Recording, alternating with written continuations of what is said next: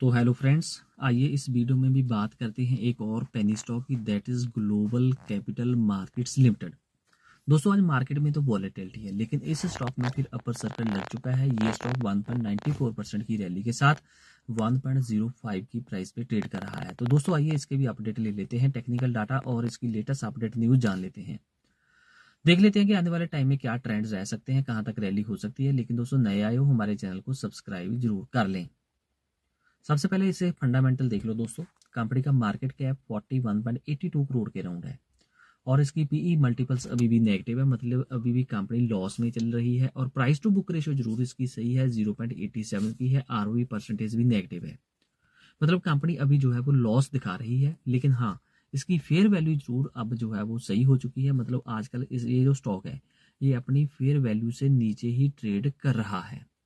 तो ये एक पॉजिटिव इंडिकेशन है। तो आइए आप अपडेट ले लेते हैं। दोस्तों, नए आए हो हमारे चैनल को आप सब्सक्राइब ज़रूर कर लें। दोस्तों, सबसे पहले इस कंपनी के जो नतीजे आए थे, वो देख लो। पहले दोस्तों, इसके सितंबर क्वार्टर के जो रिजल्ट्स आए हैं, उन पे फोकस कर लो। कंपनी के जो सितंबर में रिजल्ट्स आए थे रेवेन्यू डिक्रीज हो गया था। लेकिन दोस्तों नेट प्रॉफिट मार्जिन ने एक अच्छा इंप्रूवमेंट देखने को मिला हुआ था। लेकिन नेट इनकम जो है वो गिर रही है क्योंकि रेवेन्यू जी जो है वो गिरता दिखाई दे रहा है कंपनी के सेल्स वॉल्यूम गिरते दिखाई दे रहे हैं। हाँ मार्जिन ज़रूर इंप्रूव हो गए हैं। अब यदि दिसंबर क्वार्टर में कंपनी अपने रेवेन्यू को भी रिकवर कर लेती है तो फिर एक अच्छा मोमेंटम इस स्टॉक में ज़रूर बनता दिखाई दे सकता है। तो इसलिए दिसंबर क्वार्टर के रिज़ल्ट का चेक करना अब बहुत ही ज़रूरी हो जाता है। दोस्तों, अब इस कंपनी का यदि हम लेटेस्ट इंटीमेशन देखें तो कंपनी ने अब एक लेटेस्ट इंटीमेशन दी हुई है। कंपनी के बोर्ड ऑफ़ डायरेक्टर्स की जो मीटिंग है ट्वेल्थ फेबरी को फिक्स कर दी गई है। तो ट्वेल्थ सेकेंड 2024 को इस कंपनी के बोर्ड की मीटिंग होगी to discuss the unaudited financial results तो कंपनी के रिजल्ट्स जो है, वो इस दिन डिक्लेयर किए जा सकते हैं। तो इसलिए दोस्तों फ्यूचर की जो परफॉर्मेंस है, इस स्टॉक की, वो डिपेंड करेगी इसके फाइनेंशियल रिज़ल्ट पे। यदि कंपनी के नतीजे सही आ गए तो ये स्टॉक फिर अच्छा मोमेंटम शो करता दिखाई दे सकता है। आज इसकी जो मार्केट डेप्थ देख लो बाई की quantity eleven lakh seventy eight thousand है सेल की क्वांटिटी कम है six lakh sixty two thousand के राउंड है। मतलब आज मार्केट सेंटिमेंट टोटली पॉजिटिव है, इसीलिए इस स्टॉक में जो है वो अपर सर्किट जो है वो लगा हुआ है। तो ट्वेल्व फरवरी की दोस्तों डेट नोट करना बहुत ही ज़रूरी है। उस दिन इस कंपनी के नतीजे जो है वो आ जाएँगे। तो इसलिए जो फ्यूचर इसकी जो परफॉर्मेंस है, वो इस कंपनी के जो कह सकते हो कि नतीजे हैं, उन पे डिपेंड करेगी।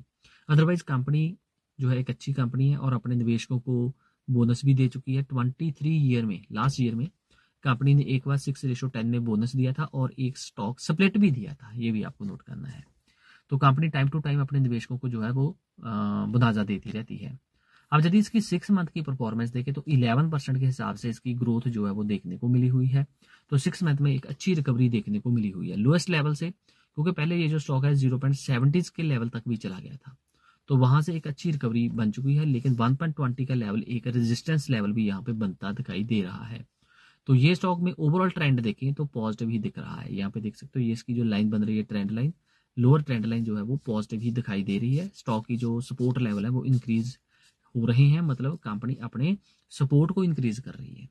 तो ये क्लियरली इंडिकेशन है दोस्तों कि स्टॉक नीचे ज़्यादा नहीं गिर रहा है और आने वाले टाइम में यदि क्वार्टर थ्री के नंबर्स भी सही रह जाते हैं, जो कि ट्वेल्थ फरवरी को पेश किए जाएँगे तो फिर इस स्टॉक में बड़ा धमाका होगा। ये जो स्टॉक है वन पॉइंट टू के जो रेजिस्टेंस लेवल है, उसको ब्रेक करता दिखाई दे सकता है, क्योंकि इसकी जो फेयर वैल्यू है, वो भी इसी लेवल के अराउंड बनती है।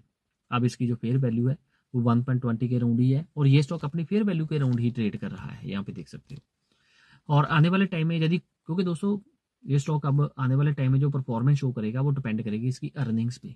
यदि कंपनी की अर्निंग क्योंकि अब जो क्या हो गया, सितंबर में क्या हो गया मिक्स ट्रेंड आया है।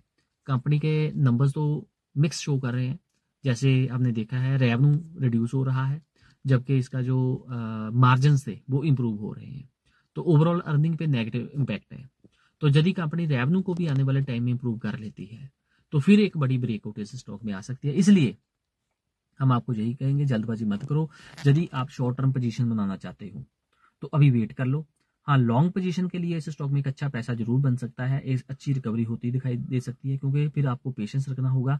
थोड़ा सा इस स्टॉक में ऐसे नहीं है कि लमसम इन्वेस्टमेंट करना है, आपको क्या करना है सिप करना है। अभी जैसे ही इस स्टॉक में थोड़ा सा डिप मिलता है तो उस टाइम आप इस स्टॉक में एवरेज करना शुरू कर सकते हो और लॉन्ग पोजीशंस में इस स्टॉक में कंटिन्यू कर सकते हो। अभी शॉर्ट टर्म पोजीशन बनाने से पहले इसके जो रिजल्ट्स आएँगे, उसकी वेट कर लो ट्वेल्थ फरवरी के। जैसे इसके रिज़ल्ट आएँगे, हम आपके साथ ज़रूर शेयर करेंगे। सो थैंक्स अगेन दोस्तों। नए हो, हमारे चैनल को आप सब्सक्राइब कर लें और बेल आइकन का बटन भी दबा लें ताकि सारे वीडियोज़ के अपडेट्स आपको मिलते रहें। So thanks again